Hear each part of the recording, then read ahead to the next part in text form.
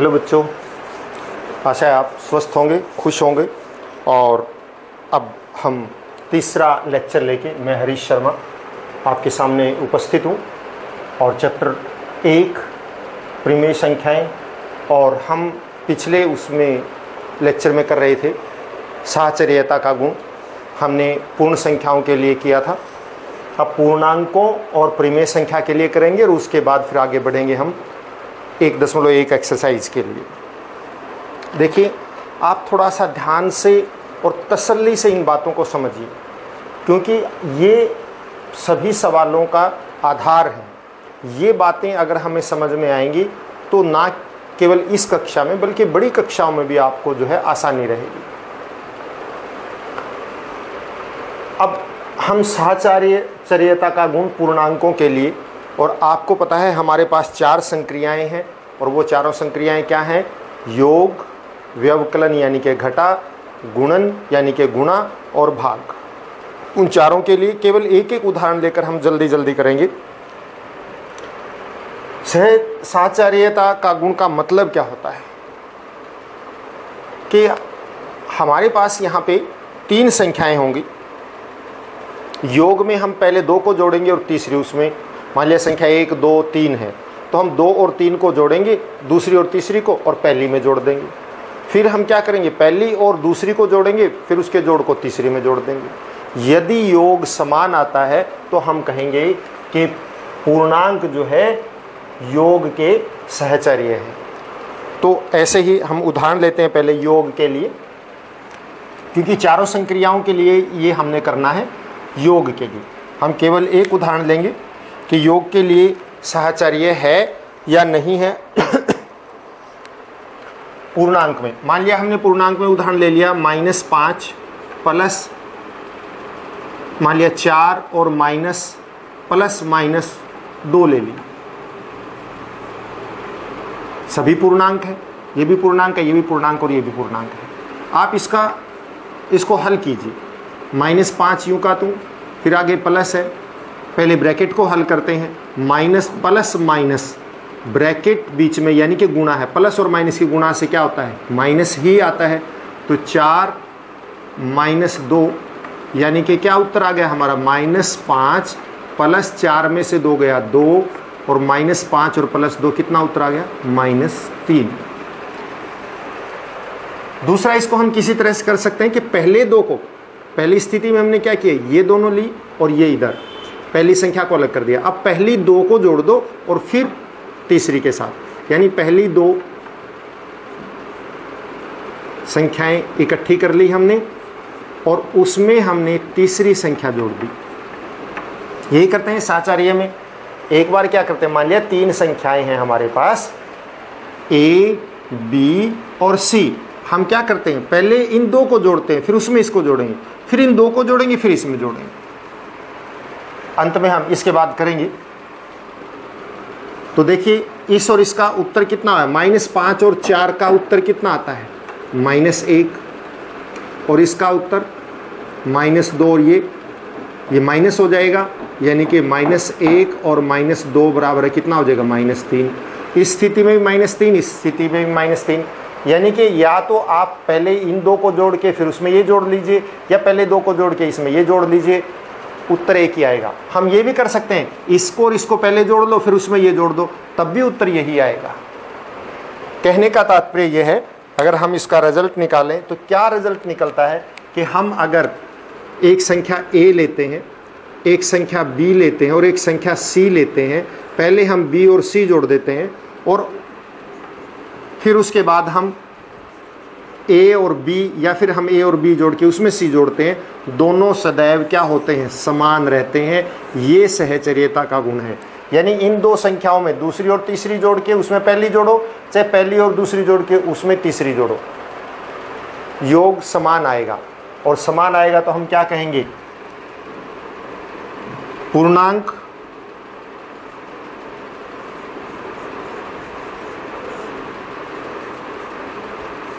योग के लिए साहचर्य हैं। योग के लिए क्या है ये? साहचर्य है। अब इसी तरह से हम व्यवकलन का लेते हैं। दूसरा गुण किसका लेते हैं? व्यवकलन का। व्यवकलन में हम यहाँ और यहाँ, ये जो प्लस है इसमें माइनस करेंगे बस और कोई अंतर नहीं। और हम देखेंगे कि क्या वो बराबर आते हैं या नहीं आते हैं। अगर बराबर आते हैं तो हम कहेंगे सहचर्य है, नहीं आते हैं तो हम ये लिखेंगे कि ये सहचर्य नहीं है।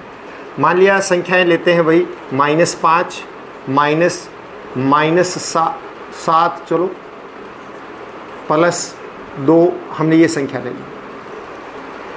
इसको आप सोल्व करो। करो इसको, माइनस पाँच, सॉरी, यहाँ माइनस लेना है, क्योंकि व्यवकलन है, सारा माइनस लेना माइनस पाँच, माइनस माइनस सात, माइनस माइनस ये दो। तो अब इसको माइनस सोल्व करेंगे तो माइनस सात, माइनस दो कितना हो गया? माइनस नौ। और ये माइनस और माइनस कितना हो जाएगा? प्लस तो माइनस पाँच प्लस नौ बराबर कितना उत्तर आ गया? चार। या फिर आप यूँ कर लीजिए माइनस पाँच माइनस माइनस सात, पहले इन दो संख्याओं को ले लो। सात माइनस का है, इस करके। और फिर आप माइनस ये दो ले लीजिए। वही है, पहले इन, हमने लास्ट वाली दो को इकट्ठा किया, फिर पहले वाली दो को इकट्ठा कर लिया। तो अब इसको दोनों को कीजिए, सौ माइनस पाँच और माइनस और माइनस क्या हो जाएगा? प्लस सात और माइनस दो। ये क्या उत्तर आया? इसका उत्तर आया दो, माइनस पाँच प्लस सात दो हो गया। दो माइनस दो कितना आ गया? शून्य। बराबर नहीं है। इसका मतलब ये यो व्यवकलन के लिए कौन सी संक्रिया लगा रहे हैं हम? व्यवकलन। तो क्या ये व्यवकलन के लिए सहचर्य है? नहीं है। तो आप क्या यहाँ पे कोई हो सकता है, ये माइनस का हो सकता है प्लस का हो सकता है, ये भी माइनस प्लस कुछ भी हो सकता है, ये भी माइनस प्लस कुछ हो सकता है। लेकिन ये दोनों आपस में जो इनके बीच के चिन्ह रहेंगे, वो माइनस के ही रहेंगे क्योंकि यहाँ व्यवकलन है।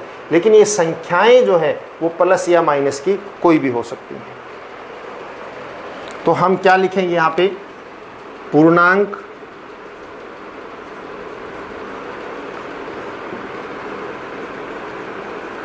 व्यवकलन के लिए साहचर्य नहीं है। अब अगला गुण लेंगे गुणन। तीसरा क्या लेंगे हम यहाँ पे? गुणन। यानी कि ये जो बीच में दो जगह माइनस था, इससे पहले वाली में दो जगह प्लस था, अब इन दोनों जगह क्या रहेगा? गुणा रहेगा। गुणन के लिए। लीजिए, मान लिया हम वही कर लेते हैं माइनस पाँच, गुणा में माइनस सात, गुणा दो। यही था ना यहाँ पे पा माइनस पाँच माइनस सात और दो था। यहाँ पे चिन्ह माइनस का था माइनस का था। पहले आप इन दोनों की गुणा कीजिए। क्या आ जाएगा? माइनस पाँच गुणा ब्रैकेट में माइनस सात और दो की गुणा माइनस चौदह। क्योंकि जब भी गुणा करते हैं, यदि गुणा करते वक्त एक माइनस का हो या तीन माइनस के हो या पाँच माइनस के हो, यानी विषम संख्या में माइनस के हो तो उत्तर माइनस आता है। और यदि दो, चार छः आठ सम संख्या में माइनस हो तो प्लस उत्तर आता है। तो अब यहाँ पे देखिए, हमने दो की की है, दो में से एक माइनस का है तो उत्तर माइनस का। अब ये दोनों माइनस के गुणा करेंगे तो माइनस और माइनस दो है तो माइनस और माइनस क्या हो जाएगा? प्लस और चौदह पंजे सत्तर। उत्तर आया सत्तर। अब हम दो को कर लेते हैं पहले। माइनस पाँच गुणा माइनस सात, इन दो को ले लिया, क्योंकि सहचर्य में तो ऐसे ही करते हैं ना, और फिर उसके साथ गुणा दो। पहले इन दोनों की गुणा करनी है। आप देखिए कितने की गुणा कर रहे हैं इन दो की, और ये दोनों माइनस कितने हैं? दो हो गए। तो दो हो गए या चार हो या छः माइनस के हो तो क्या हो जाते हैं? प्लस। तो माइनस और माइनस प्लस और सात पंजे पैंतीस। गुणा में दो। पैंतीस दूनी सत्तर। अभी भी सत्तर आया। दोनों तरफ़ से एक समान आ रहा है। इसका मतलब क्या है? ये गुणन के लिए सहचर्य है। तो हम क्या लिखेंगे? पूर्णांक गुणन के लिए साहचर्य है या होते हैं, एक ही बात है। देखिए, बहुत सारे बच्चे कंफ्यूज हो जाते हैं कि माइनस माइनस को जोड़ते वक्त भी प्लस कर देते हैं। नहीं, जोड़ते वक्त ऐसा नहीं करना है। माइनस और माइनस को जोड़ेंगे तो हमेशा माइनस ही आएगा। लेकिन माइनस और माइनस को गुणा करेंगे तो प्लस आएगा। गुणा और जोड़ अलग अलग रखिए उनको। इसके बाद भाग। भाग के लिए और देखते हैं, चौथी संक्रिया हमारी भाग।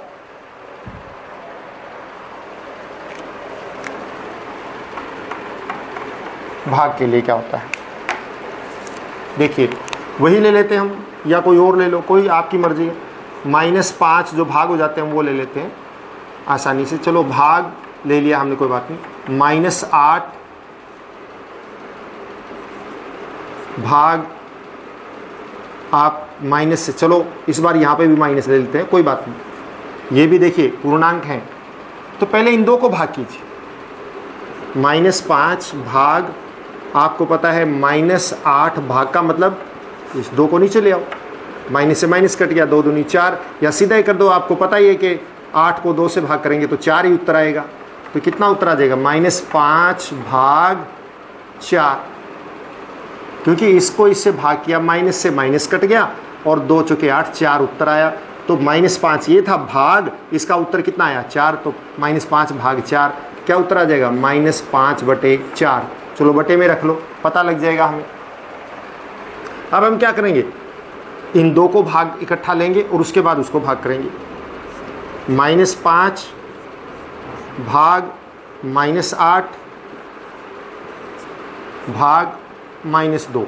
अब इन दो को शायद आप समझ गए होंगे साहचार्य क्या होता है। हमने पूर्ण संख्या के लिए किया, पूर्णांक के लिए किया और अब पूर्णांक के लिए कर रहे हैं अब और आगे हम प्रीमेय संख्या के लिए भी करेंगे। मतलब पहले आप इन दो, किसी दो संख्या को लो, तीसरी एक अकेली रहेगी। उनको और फिर उसको छोड़ दो, पहली दो को इकट्ठा ले लो, तीसरी अकेली रहेगी। इस तरह से रखना। अब माइन इसको भाग करेंगे तो क्या आएगा? माइनस पाँच बटे माइनस आठ, इसका मतलब यही होता है ना, भाग का मतलब बटे में ले जाओ। और ये उत्तर आ गया पाँच बटे आठ, भाग माइनस दो। अब आप देखिए, पाँच बटे आठ और गुणा में एक बटा दो, क्योंकि भाग है ना ये तो भाग तो एक बटा दो हो जाएगा और वो भी माइनस का। तो ये कितना उत्तर आ गया? माइनस पाँच बटे सोलह तो पहले स्थिति में आपका उत्तर आ रहा था माइनस पाँच बटे चार, अब स्थिति में उत्तर आ रहा है माइनस पाँच बटे सोलह। और वैसे भी ये पूर्णांक थे और ये क्या बन गया? प्रीमेय संख्या। ये पूर्णांक से क्या बन गई? प्रीमेय संख्या। तो ये बराबर भी नहीं आए हैं अलग अलग आ गए। इसका मतलब हम क्या कहेंगे? कि ये इसके साचार्य नहीं है। तो हम क्या कहेंगे? पूर्णांक भाग के लिए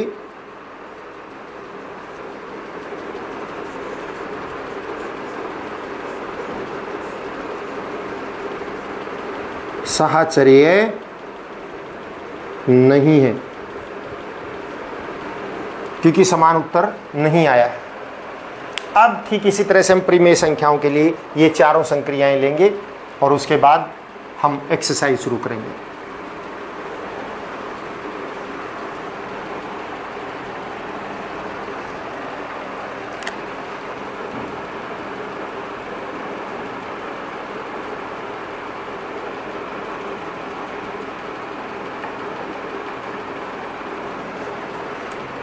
सबसे पहले योग।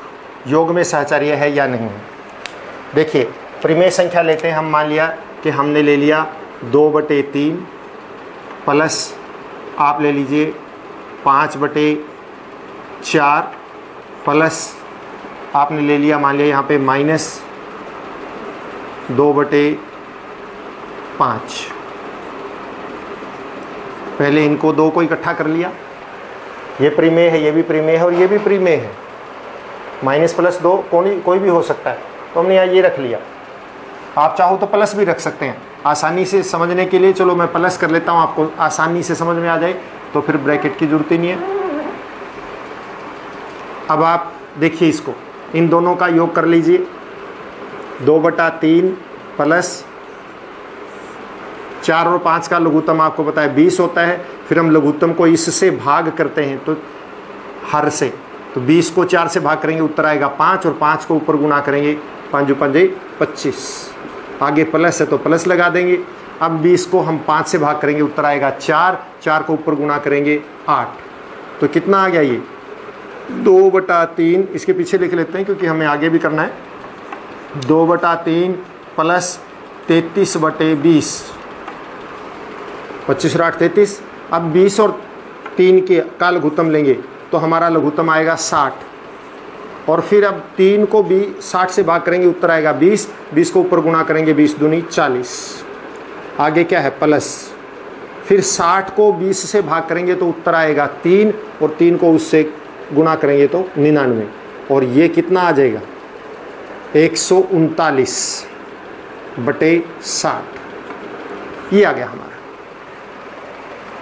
दूसरी स्थिति क्या हो सकती है? पहले और दूसरे को जोड़िए, क्योंकि हमेशा हम दो पिछली लेते हैं, फिर दो पहले वाले ले लेते हैं। दो बटा तीन प्लस पाँच बटे चार, इसको पहले प्लस उसमें दो बटा पाँच। अगर यही उत्तर आया तो इसका मतलब ये योग के लिए क्या है?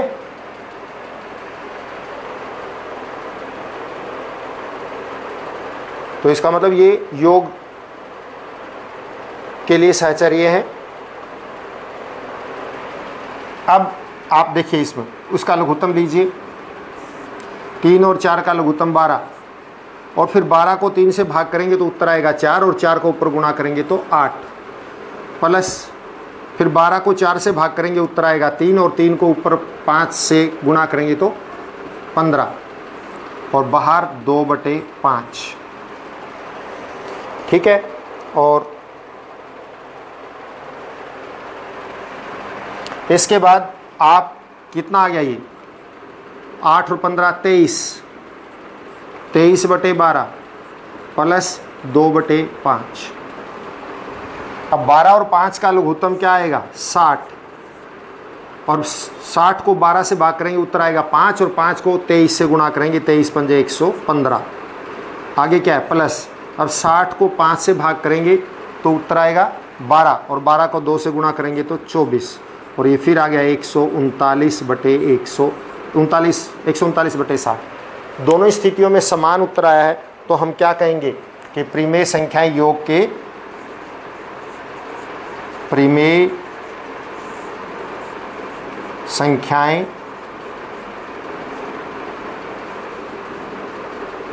योग के साहचर्य, योग के लिए सॉरी योग के लिए सहचर्य होती हैं।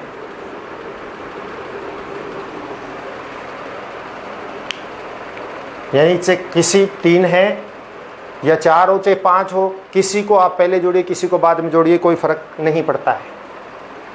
अब व्यवकलन के लिए।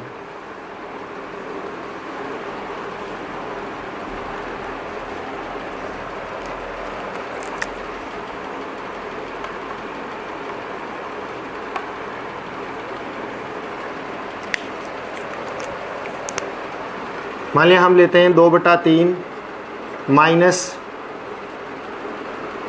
तीन बटे चार माइनस पाँच बटे छः मान लिया ये ले लिया हम। पहले इन दो को करेंगे फिर इसमें और अगले में स्टेप में ये और फिर उसके साथ। तो देखिए इसमें क्या होता है। दो बटा तीन माइनस चार और छः का लघुत्तम आता है बारह और बारह को चार से भाग करेंगे, उत्तर आएगा तीन। तीन को तीन से गुना करेंगे नौ। बारह को छः से भाग करेंगे, उत्तर आएगा दो तो दो को पाँच से गुना करेंगे दस। तो क्या उत्तर आ गया देखिए आप? दो बटा तीन माइनस अंदर आ गया माइनस एक बटे बारह। अब अंदर भी माइनस बारह भी माइनस तो क्या बन गया? दो बटा तीन माइनस माइनस प्लस एक बटे बारह। और इसका लघुत्तम कितना आ गया? बारह। अब 12 को तीन से भाग करेंगे तो उत्तर आएगा चार और चार को ऊपर गुणा करेंगे दो से आठ। और फिर 12 को 12 से भाग करेंगे, उत्तर आएगा एक और एक को एक से गुणा करेंगे एक। उत्तर आ गया हमारा नौ बटे बारह। काटना चाहो आपस में काट दो, नहीं तो कोई बात नहीं, चाहिए यहीं छोड़ दीजिए आप। अब इसके बाद दूसरी तरह से ले लीजिए। दो बटा तीन, माइनस तीन बटे चार, ये इकट्ठा लो और फिर माइनस पाँच बटे छः करो। अब इसका लघुत्तम लीजिए आप। क्या आएगा? तीन और चार का लघुत्तम आता है बारह, और फिर बारह को तीन से भाग करेंगे, उत्तर आएगा चार, और चार को ऊपर दो से गुणा करेंगे तो आठ। फिर आगे माइनस, बारह को चार से भाग करेंगे, उत्तर आएगा तीन, और तीन को तीन से गुणा करेंगे तो नौ। और माइनस पाँच बटा छः। अब ये क्या आ गया? आठ माइनस नौ, माइनस एक बटे बारह, और माइनस पाँच बटे छः। लघुत्तम लीजिए बारह। अब बारह को बारह से भाग करेंगे, उत्तर आएगा एक और एक को ऊपर माइनस एक से गुणा करेंगे तो माइनस एक। आगे फिर माइनस है। अब बारह को फिर छः से भाग करेंगे, उत्तर आएगा दो और दो को पाँच से गुणा करेंगे दस। माइनस एक और माइनस दस कितना बन गया? माइनस ग्यारह बटे बारह। ये नौ बटे बारह, ये माइनस ग्यारह बटे बारह दोनों समान नहीं है और समान नहीं है। इस करके हम क्या इसका मतलब क्या हुआ? ये व्यवकलन के लिए साचर्य नहीं है। तो हम क्या कहेंगे? परिमेय संख्या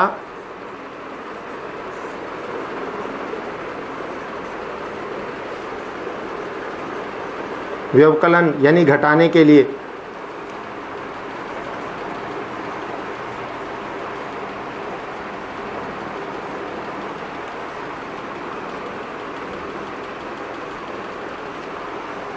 मतलब अगर हम घटाने में क्रम बदल देते हैं, आगे पीछे कर देते हैं तो उत्तर समान नहीं रहेगा, जबकि जोड़ में समान रहेगा। अब इसके बाद गुणन, तीसरा।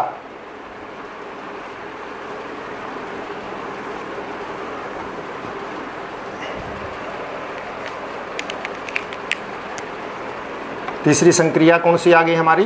गुणन। गुणन में देखिए आप, मान लिया दो बटा तीन गुणा, आप वही चार बटे मान लिया पाँच गुणा, आप कुछ सात बटे चार या तीन, कुछ भी ले लो। ये दो पहले रख लिया। पहले इनकी गुणा करेंगे, फिर इसकी। तो क्या आ जाएगा? दो बटा तीन गुणा, ऊपर ऊपर वाले कर दो, नीचे नीचे वाले कर दो। अगर आपस में कोई कटता हो तो आप काट भी सकते हैं। लेकिन यहाँ कुछ नहीं कैंसिल होता। इसलिए हम ऊपर के ऊपर सात चौके अट्ठाईस और नीचे नीचे वाले गुना पाँच दिए पंद्रह। अब अब भी कोई आपस में कटता हो तो काट लो, नहीं तो नीचे नीचे वालों की और ऊपर ऊपर वालों की। ऊपर की गुना अट्ठाईस दूनी छप्पन और नीचे पंद्रह तीय पैंतालीस। बराबर नहीं, मत सॉरी ये आ गया है। अब हम दोबारा फिर पहले दो की लेंगे गुना करेंगे। गुना में सात बटे तीन। पहले इनकी गुणा करो। कटता हो तो काटो, नहीं तो यूँ का तू कर दो। चार दूनी आठ और नीचे तीन पंजे पंद्रह। गुना में सात बटे तीन। अभी भी कोई ऊपर नीचे कटता है? नहीं कटता। फिर वही सात अठे छप्पन बटे पैंतालीस। वही उत्तर आ गया। इसका मतलब गुणन के प्रति साहचर्य है। यानी आपको अगर तीन संख्याएँ दे रखी हों, या तीन से ज़्यादा का भी ऐसा ही रहेगा अगर संख्याएँ दे रखी हो तो किसी को पहले गुणा कर दो, किसी को बाद में गुणा कर दो, कोई फ़र्क नहीं पड़ेगा। इसीलिए इसी तरह से पहले किसी को भी जोड़ो, बाद में किसी को भी जोड़ो, कोई फ़र्क नहीं पड़ेगा। लेकिन घटाने में ऐसा नहीं कर सकते, वो साहचर्य नहीं है। तो क्या कहेंगे हम? पूर्णांक गुणन के साहचर्य होते हैं। अब आखिरी संक्रिया रहेगी भाग के लिए। हम इसी को ले लेते हैं। भाग का ही तो करना है, कोई ज़रूरी नहीं है, हमें और बदले।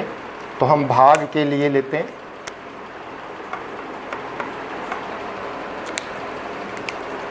मान लिया ये भाग है, ये भी भाग है। पहले इन दो को भाग करेंगे, फिर इसके साथ करेंगे। दो बटा तीन भाग चार बटे पाँच और भाग को सोल्व करना हो तो क्या करते हैं? गुणा और उसको पलट देते हैं पीछे वाली को। सात बटे तीन का तीन बटे सात कर दिया। अब आपस में कोई कटते हैं तो काट दो, नहीं तो गुणा कर दो। नहीं कटते। तो दो बटा तीन भाग, ये क्या गया? चार तीय बारह। और नीचे कितना आ जाएगा? पैंतीस। अब इसको सोल्व करेंगे तो क्या है? दो बटा तीन और भाग को किसमें बदलेंगे? गुणा में। और ये क्या करेंगे? पैंतीस बटे बारह। अब कोई कटता है, काट दो। हाँ कटता है, काट दो, कोई बात नहीं। तो कितना उत्तर आ गया? पैंतीस बटे अट्ठारह अब पहले इस दो को लीजिए। दो बटा तीन, भाग चार बटे पाँच, ये दो पहले ले लिए और भाग सात बटे तीन। पहले इन दो को सोल्व करो, क्या आ गया? दो बटा तीन गुणा में पाँच बटे चार, भाग सात बटे तीन। कटता है तो काट दो हाँ कटता है, दो दूनी चार। ऊपर नीचे ही काटना है। ऊपर ऊपर नहीं कटेगा, नीचे नीचे नहीं कटेगा। ऊपर से नीचे कटेगा। और वो भी ब्रैकेट के अंदर अंदर। जिनके बीच में गुणा हो, कहने का मतलब सिर्फ़ वही कटेंगे। अब क्या आ गया ये? ये आ गया पाँच बट, ऊपर रह गया पाँच और नीचे आ गया तीन दूनी छः। भाग सात बटे तीन। अब फिर देखो भाग करना है।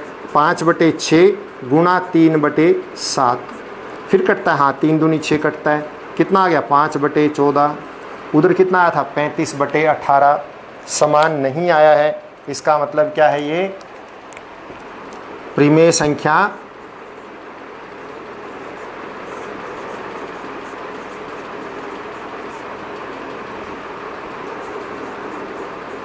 भाग के लिए साचर्य नहीं होती।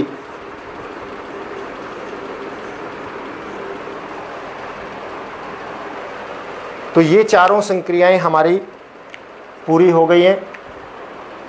आप इनको ध्यान से पढ़िएगा। मैं बार बार कह रहा हूँ कि इनके ऊपर आपने बहुत अच्छी तरह से ध्यान देना है, बहुत अच्छी तरह से समझना है। फिर भी ना आए तो आप अपने टीचर से फिर बैठ के दोबारा कंसल्ट कीजिए कि मुझे यहाँ से समझ में नहीं आया है। तो ज़रूरी है ये, तभी सवाल आपको अच्छी तरह से आएँगे। नहीं तो आप सवाल के रट्टे लगाते रहेंगे और वो बार बार आपको भूलते रहेंगे। गणित को जो है आपने इंटरेस्टिंग बनाना है तो उसके लिए यही तरीका है कि आप इनके जो गुण हैं, उनको अच्छी तरह से आप पढ़िए। अब आगे की बात आती है हमारी कि गुणा में सुनने की क्या भूमिका है। और एक की क्या भूमिका? बस छोटी छोटी बातें शून्य की भूमिका क्या है? गुणा के अंदर। अगर आपको शायद सबको ही पता होगा ये बात तो कि अगर हम किसी भी संख्या को ज़ीरो से शून्य से गुणा कर देते हैं तो वो क्या हो जाती है? शून्य हो जाती है। यही शून्य की भूमिका है। तो शून्य की क्या भूमिका है गुणा में? शून्य के लिए क्या भूमिका है? कि अगर आप किसी भी संख्या, चाहे वो प्रीमेय संख्या हो, शून्य हो जाएगा। चाहे वो कोई पूर्ण संख्या हो, चाहे वो कोई पूर्णांक हो, कुछ भी हो, वो शून्य हो जाएगा। ये शून्य की भूमिका है।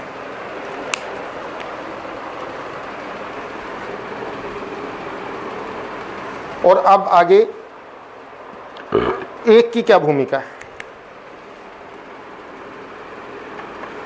एक की भूमिका। एक की भूमिका है कि आप एक के साथ किसी को भी गुणा कर दीजिए। कोई फ़र्क नहीं पड़ता है, वो यूँ का तू ही रहेगा, उसमें कोई अंतर नहीं आएगा। ये एक की भूमिका है। जैसे हम चार बटे पाँच के साथ एक को गुणा कर दें तो चार बटे पाँच ही आएगा। पाँच के साथ गुणा कर दें तो पाँच ही आएगा। मान लिया माइनस पाँच के साथ गुणा की तो माइनस पाँच ही आएगा।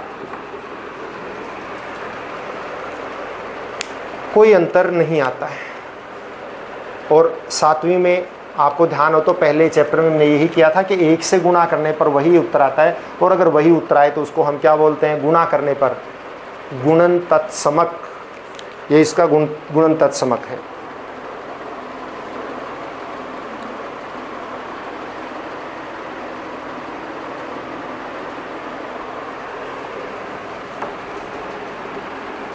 एक छोटी सी बात और। अगर किसी संख्या में उसी का ऋणात्मक जोड़ दिया जाए तो क्या होता है? मान लिया पाँच। पाँच में पाँच का ऋणात्मक जोड़ दें, यानी क्या हो जाएगा? पाँच माइनस पाँच बराबर है शून्य। या आप यूँ कहिए कि माइनस सात में इसका ऋणात्मक जोड़ दें तो? माइनस सात का ऋणात्मक क्या होगा? सात। क्या आएगा? शून्य। माइनस चार बटे पाँच में इसका ऋणात्मक जोड़ दें तो? शून्य। या पाँच बटे सात में इसका ऋणात्मक जोड़ दें तो शून्य। हमेशा ऋणात्मक क्या होता है कि माइनस का प्लस और प्लस का माइनस, ये ऋणात्मक होता है। इसको हम क्या कहते हैं? योज्य प्रतिलोम। ये माइनस सात का योज्य प्रतिलोम सात, पाँच का योज्य प्रतिलोम माइनस पाँच, माइनस चार बटे पाँच का योज्य प्रतिलोम चार बटे पाँच, और पाँच बटे सात का योज्य प्रतिलोम माइनस पाँच बटे सात। तो किसी भी संख्या में अगर उसका योज्य प्रतिलोम जोड़ दिया जाता है तो वो संख्या शून्य हो जाती है। अब इसके बाद एक और, बस छोटी सी बात, और इसके बाद हम सीधे प्रश्नावली के ऊपर ही आ जाएँगे। तो योज्य प्रतिलोम क्या होता है? कि उसका ही माइनस कर दें। और अब एक और व्युतक्रम। व्युतक्रम वो होता है कि जिसके साथ गुणा करने पर उत्तर एक आए वो व्युतक्रम हो जाता है।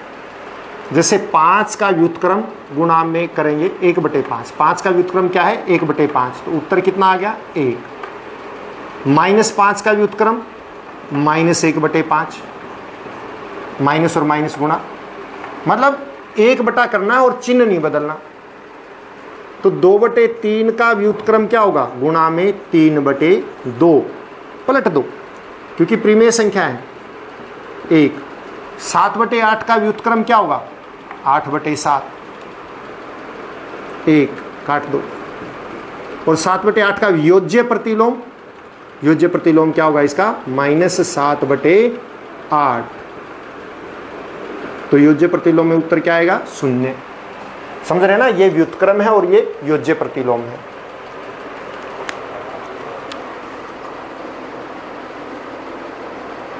तो अब आ जाइए आप पहली प्रश्नावली के ऊपर, और मैं इसके सवाल, अगर आपके पास किताब नहीं है तो आपके सामने रख देता हूँ। हो सकता है मुझे जहाँ तक वो है कि आपके पास, सबके पास किताबें उपलब्ध हो गई होंगी, और फिर भी नहीं हो तो मैं एक बार आपके सामने ये प्रश्नावली के एक, दो, तीन सवाल, चार सवाल तक ये आपके सामने अगर आपके पास किताब ना हो तो आप इसको जो है एक बार पॉज करके, यानी डबल क्लिक करके इसको आप अपने पास मतलब इसको नोट कर सकते हैं कॉपी के अंदर।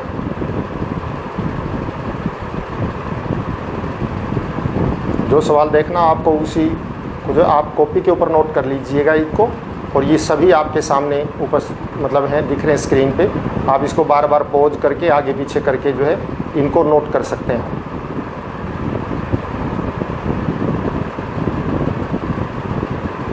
ठीक। अब पहला सवाल है कि एक एक ही सवाल लेंगे हम, और बाकी आप करते रहेंगे, क्योंकि इन सब के उदाहरण हम ले चुके हैं, इसलिए ज़्यादा इस पर समय लगाने की आवश्यकता है ही नहीं। और ये हमारी एक्सरसाइज एक दशमलव एक आ गई प्रश्नावली। एक्सरसाइज ई एक्स एक दशमलव एक। ये शुरू हो गई है।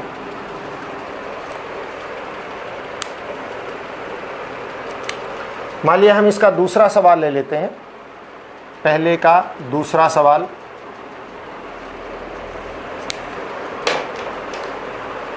दो बटा पाँच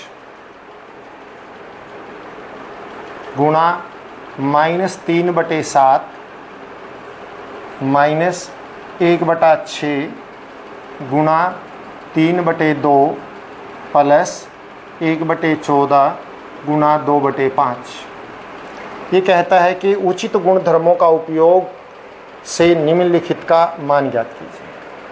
अब इसमें उचित गुण धर्मों का हमने उपयोग करना है और इसका मान लिखना है। सीधा सा है इसमें देखिए क्या ऐसा कोई है कि जो सभी में से बाहर आ जाए? नहीं है कोई। तो आप सीधा जैसे आपको पता है, वैसे ही कीजिएगा आप।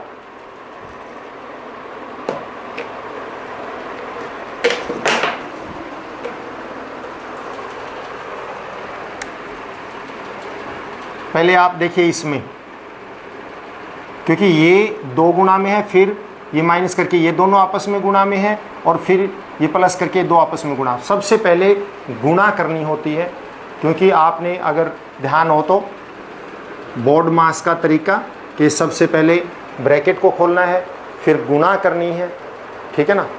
सॉरी पहले ब्रैकेट को खोलना होता है। ब्रैकेट अगर हो तो बोर्ड मास का ये तरीका है B O D M A S तो सबसे पहले ब्रैकेट खोलनी होती है, फिर ऑफ़ का आता था, आजकल नहीं आता है। और ब्रैकेट खोलने के बाद आपको भाग करनी होती है डी मतलब डिवीज़न, भाग के बाद आपको गुणा गुणा के बाद आपको जमा और जमा के बाद आपको घटा। तो ये तरीका होता है सॉल्व करने का। तो पहले गुणा कीजिए, जिनके बीच में गुणा है। आप इन दोनों को देखिए। क्या आपस में कोई कटता है? नहीं कटता। तो गुणा कर दीजिए ऊपर ऊपर की और नीचे नीचे की। और एक माइनस एक प्लस है तो क्या आएगा? माइनस ही आएगा। छ बटा पैंतीस।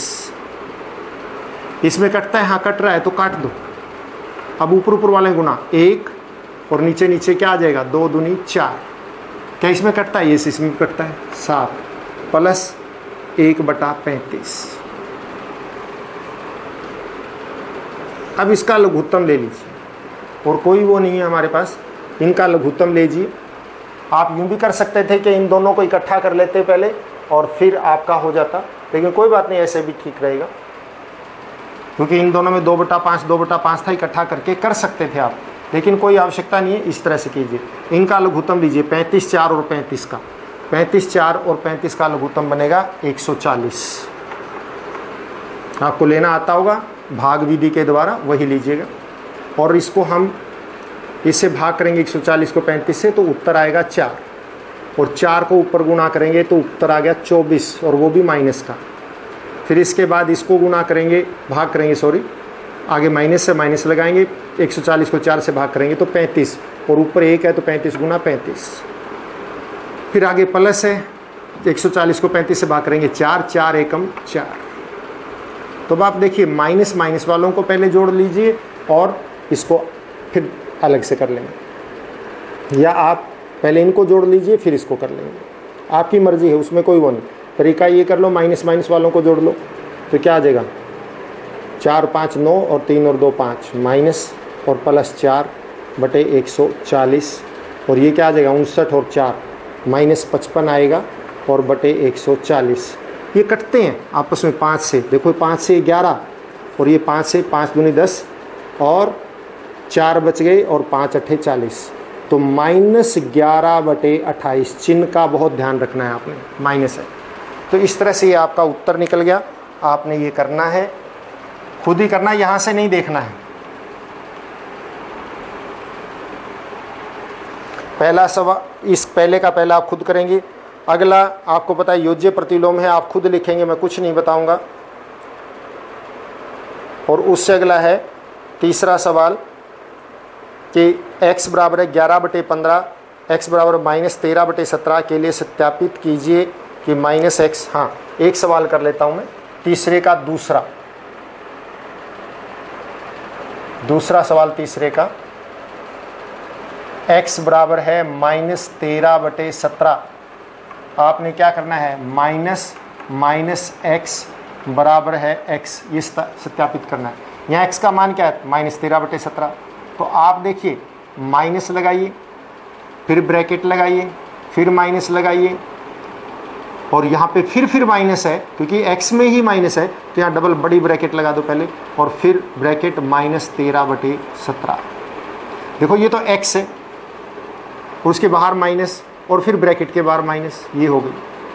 तो अब आप देखिए, ये क्या आएगा? माइनस और माइनस गुणा होकर क्या हो जाए प्लस और प्लस और फिर क्या आएगा? अंदर क्या है? माइनस तेरह बटे सत्रह। बाहर तो क्या हो गया? प्लस हो गया। और प्लस माइनस क्या बनेगा? फिर माइनस बनेगा। तेरह बटे सत्रह। तो ये किसके बराबर है? एक्स के बराबर ही तो है। तो ये इस तरह से आपने करना है। देखिए, यहाँ पे देखिए, माइनस है। हमने माइनस लगा दिया। फिर ब्रैकेट ब्रैकेट लगा दी। फिर माइनस फिर माइनस लगा दिया। फिर उसके आगे क्या? एक्स तो एक्स के स्थान पे हमारे पास क्या है? एक्स के स्थान पे हमारे पास ये तो हमने ये लिख दिया। अब हमने ये ब्रैकेट इसलिए लगा दी क्योंकि इसके बाहर माइनस है दो चिन्ह एक साथ इकट्ठे नहीं हो सकते, एक जैसे। फिर माइनस और माइनस या ये माइनस और ये माइनस हमने प्लस कर दिया, अंदर ये माइनस है, और फिर प्लस माइनस माइनस हो गया, वापस उसी के बराबर। निम्नलिखित के गुणात्मक प्रतिलोम लिखिए। हम एक उदाहरण ले लेता हूँ। चौथे सवाल, क्योंकि चार तक की रकम आपके पास स्टेटमेंट है अगर आपके पास किताब नहीं है तो की बात कर रहा हूँ। तो आप इसमें देखिए, मान लिया हमारे पास ये है, माइनस पाँच बटे आठ, चौथा भाग तीसरे का। सॉरी, चौथे का चौथा भाग। माइनस पाँच बटे आठ गुणा में माइनस तीन बटे सात का योज्य प्रतिलोम करना है आपको। ना, सॉरी, गुणात्मक प्रतिलोम करना है। तो आप इसमें क्या कर सकते हैं? आपके पास ये है कि आप इसको पलट दो और इसको भी पलट दो। क्या आ जाएगा? एक तरीका तो ये है कि माइनस आठ बटे पाँच गुणा में माइनस सात बटे तीन। ये इसका गुणात्मक प्रतिलोम है। दोनों को पलट दो। अब यहाँ पे तो आप, क्योंकि प्रतिलोम क्या होता है? बस पलट दो और कुछ नहीं। जो नीचे, उसको ऊपर ऊपर वाले को नीचे। ये उसका गुणात्मक प्रतिलोम है। चौथा सवाल आप खुद करेंगे। पांचवा, देखिए, ये सवाल को मैं बिल्कुल आपकी सहायता अभी नहीं करूँगा। अगर आपको कोई डाउट हो तो आप जो है, बिल्कुल जो नंबर आपको दिया गया है, और मैं दोबारा दे दूँगा, उसमें आप सहायता ले सकते हैं। कि हमें नहीं समझ में आया, लेकिन ये पांचवा सवाल देखिए। चौथा और पाँचवा में दोबारा दिखा देता हूँ, चौथा भी और पाँचवा भी। चार, पाँच छः सवाल देखिए। ये किताब मुझे जहाँ तक मैं मानता हूँ किताब होगी आपके पास, लेकिन फिर भी आप चौथा सवाल अगर कुछ रह गया हो तो दोबारा देख लीजिए।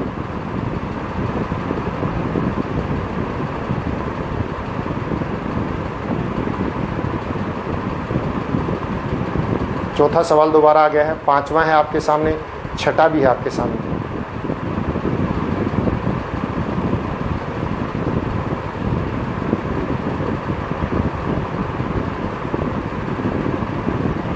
मैं अगले सवाल भी दिखाई देता हूँ।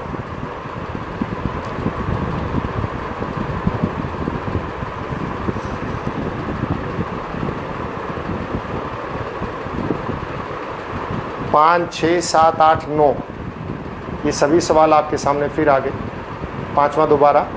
छः सात, आठ, नौ। ये सवाल आपके सामने। आप इनको रकम जो इनकी है, यानी जो स्टेटमेंट है, उसको आप पहले उतार लीजिएगा और कॉपी पे फिर आप करना शुरू कीजिएगा।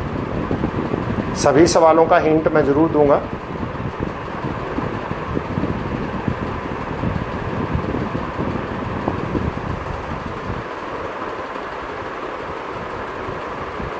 इसमें ग्यारह ही सवाल हैं, वो भी मैं दिखा देता हूँ। आगे चाहे आज नहीं हो पाएँगे इसमें, लेकिन फिर भी हो सकता है आप में से कुछ बच्चे ट्राई करें अपने आप। तो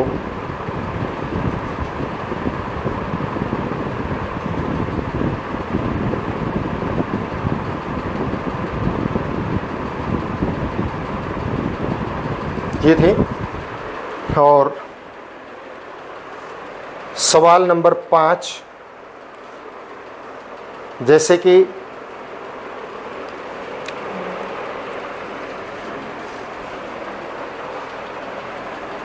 आपने इनमें से मैं हिंट नहीं दूँगा, क्योंकि आप जो है बिल्कुल ठीक है, इसमें हिंट देने की आवश्यकता नहीं है। जो पीछे पहले और दूसरे और इस लेक्चर के अंदर जो बताया गया है, वही चीज़ें हैं इसके अंदर, ताकि आप उन, आपको नहीं पता हो। तो आप उनको दोबारा पढ़ें, दोबारा देखें उसको कि हाँ क्या बताया गया था। कि ये देखिए, पहले की दूसरे से गुणा और दूसरे की पहले से गुणा, अगर बराबर हो तो उसको क्या बोलते हैं? वो कौन सा गुण धर्म है? ये पहले और दूसरे में यही है, और तीसरा तो अभी अभी करवाया था कि उत्तर एक आ रहा है, उसी को उस पलट कर गुणा करना, एक उत्तर आए तो क्या होता है? गुणात्मक प्रतिलोम मैं फिर भी बता देता हूँ। और इस छः बटे तेरह को माइनस सात बटे सोलह के व्युतक्रम से गुणा कीजिए। छठा सवाल है छः बटे तेरह को किससे गुणा करना है? माइनस सात बटे सोलह के व्युतक्रम से। माइनस सात बटे सोलह के व्युतक्रम से गुणा करना है तो व्युतक्रम क्या हो जाएगा इसका? उल्टा हो जाएगा माइन सोलह बटे सात हो जाएगा, और माइनस का रहेगा। माइनस का कोई बात नहीं, नीचे लगा ऊपर लगा उससे कोई फ़र्क नहीं पड़ता। इसकी गुणा आप खुद निकालेंगे। बताइए कौन से गुण, सातवां सवाल देखिए, बताइए कौन से गुण धर्म की सहायता से आप इसका रूप में अभिकलन करते हैं? पहले को ये देखिए। ये दे रखा है। आप समझ गए होंगे, आज ही हमने ये किया है। एक बटा तीन गुणा छः गुणा चार बटा तीन। फिर को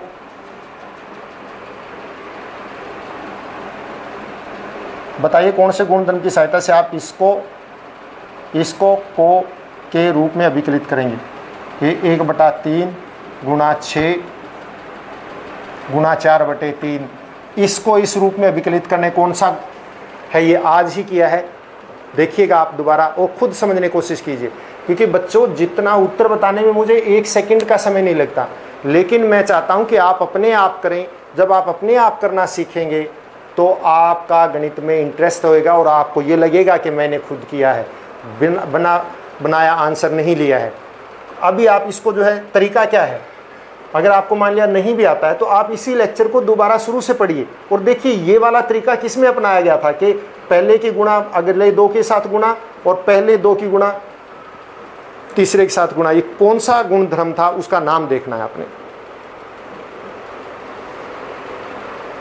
आठवां सवाल।